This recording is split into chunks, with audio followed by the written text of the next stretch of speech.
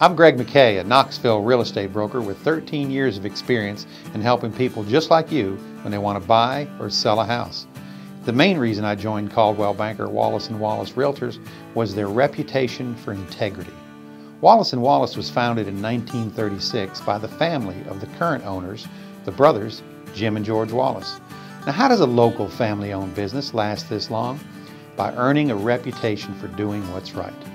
My grandpa called it square dealing. If this is as important to you as it is to us, then give me a call. We can help you with any aspect of real estate, residential, commercial, buying, selling, rentals, across town, across the country, even overseas. We do it all. Thank you for your time and let me know if I can be of service to you.